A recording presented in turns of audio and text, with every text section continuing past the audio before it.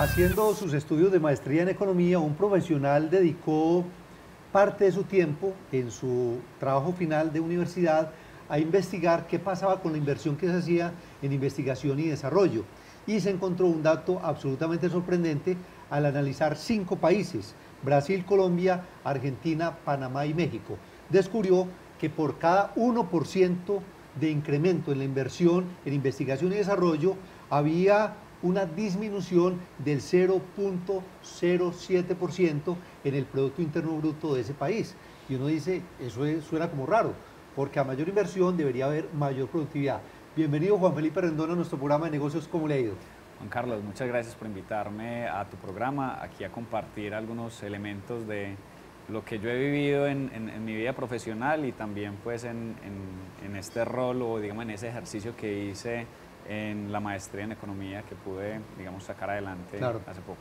Juan, antes de que entremos a explicarles a los televidentes por qué sucede eso, de que a mayor inversión se disminuya el PIB, eh, contemos que usted ha venido trabajándole al tema, primero desde la academia, pero también con la aplicación en diferentes estamentos, como el mismo SENA, de donde actualmente es director regional, y la gobernación de Antioquia.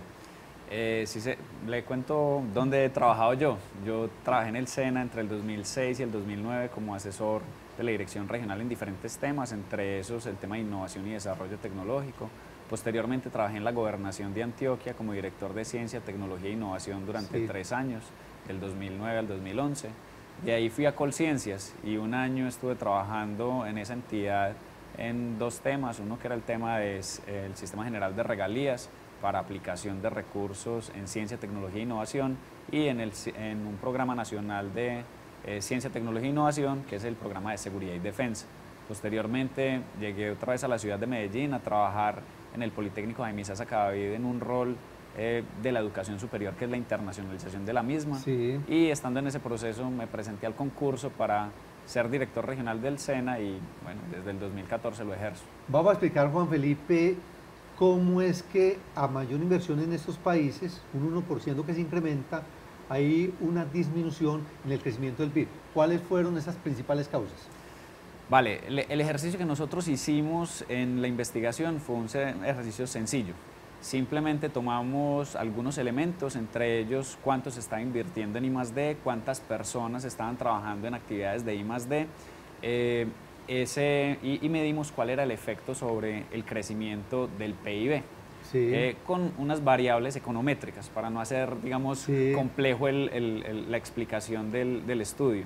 Y como resultado encontramos lo que mencionabas al principio del programa, y es que por cada incremento del 1%, tomando como base a Colombia, eh, el PIB disminuía significativamente eh, en 0.07%. Estadísticamente significativo puede ser el resultado.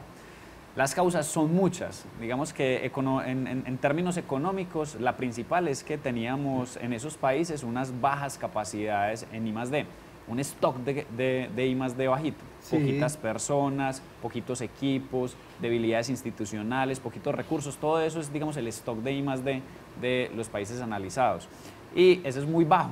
Y al ser muy bajo, el efecto que puede tener ese stock sobre el PIB eh, no es significativo y como lo encontramos, estadísticamente nos daba que el efecto era negativo sobre el PIB, tomando como base Colombia. Hay una cosa muy importante, Juan Felipe, para que nos explique acá como esos componentes de lo que tiene que ver con la investigación y el desarrollo, porque hay una investigación que es muy básica, hay otra que ya sí es aplicada, pero está todo el tema de desarrollo experimental. Vamos a explicarle a los televidentes en qué consiste cada uno. Vale, investigación y desarrollo es eh, la familia y tiene tres especies.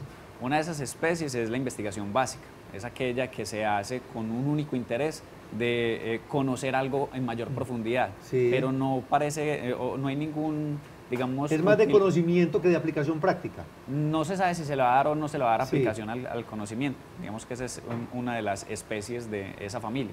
Otra de las especies es el, mm, la investigación aplicada, que es aquella cuando usted identifica un problema y quiere resolver ese problema y hace investigación, genera el conocimiento y le da la aplicación para resolver el problema.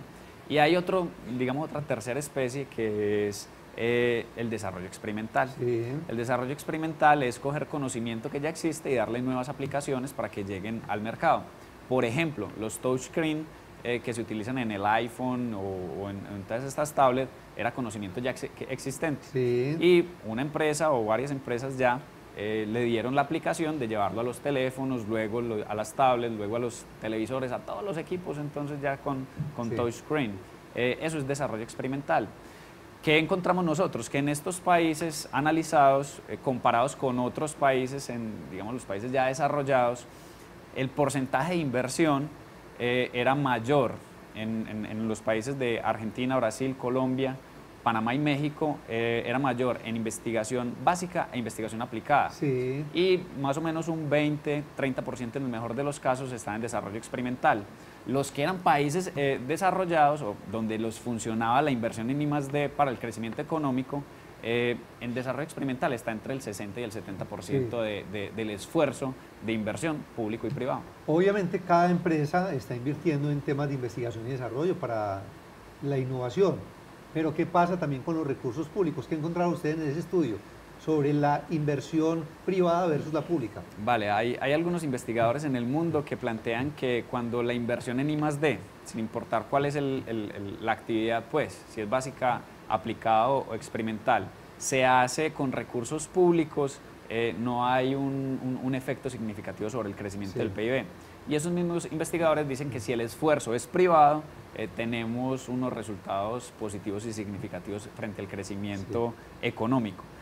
Eh, ¿Qué vimos? Que pues en los países analizados la mayoría de la inversión del 54 al 70% estaba soportada en el sector público, no en el sector privado. Y en los países donde vimos que sí funciona invertir en I+.D., eh, digamos, el mayor peso lo cargaba era el sector privado, porque encontraban, digamos, oportunidades de invertir ahí porque les generaba un retorno.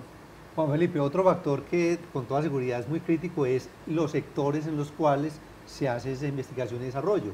No es lo mismo investigar en un sector que es muy básico a otro que tiene un gran potencial a nivel mundial.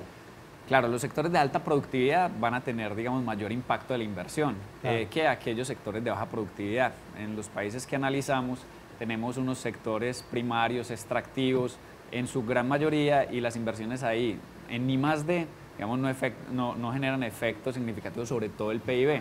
Ahora, cuando nosotros miramos sectores como el aeroespacial, donde Colombia, eh, Panamá y Argentina no está, pero que sí están México y Brasil, que eran los que mejor les iban en el, en el, en el análisis que hacíamos, o sectores de tecnologías de la información y la comunicación, eh, que son muy robustos en, otros países, eh, digamos, de comparación más no analizados, veíamos que sí había un efecto, digamos, eh, sobre el PIB. Nuestros esfuerzos han estado concentrados en otras áreas del conocimiento, eh, sin hacer unas apuestas en generar capacidades eh, estratégicamente, entonces eso nos generaba los digamos, resultados que encontramos. Juan Felipe, otro tema que es absolutamente fundamental es el de tener un foco, porque a veces uno ve que en países como los que ustedes investigaron, los empresarios le apostamos a todo. Entonces, no, a veces hay que hacer renuncias inclusive para dedicarse a lo que sea más promisorio. Sí, lo, lo, lo que, digamos, mencionamos ahí es que hacer una apuesta significa hacer una renuncia. Y, nosotros tenemos una, digamos, una característica, es que no, no, no, apostamos de verdad, porque no renunciamos. Donde nos van saliendo alguna oportunidad de negocio, por ahí nos vamos metiendo y no nos concentramos. Nosotros hemos visto ejemplos, eh, digamos, analizados, donde se han concentrado en un área, generar mucha capacidad y ahí es donde, digamos, los resultados económicos se empiezan a ver. Y casos, pues, hay muchos en la historia. Eh, Corea es uno de ellos, que era el país más pobre del mundo. En 1953 hasta 1961 y es uno de los países más ricos porque concentró sus esfuerzos en desarrollar capacidades en unas áreas específicas, haciendo renuncias en otras. Nosotros como país no hemos hecho eso y nuestras empresas, digamos, han estado concentradas en aquellos lugares donde generan un retorno rápido, pero no, no, no, hemos apostado a largo plazo en términos generales. Juan Felipe, usted como experto en el tema, ¿qué le recomendaría a los empresarios y emprendedores que nos ven en diferentes países a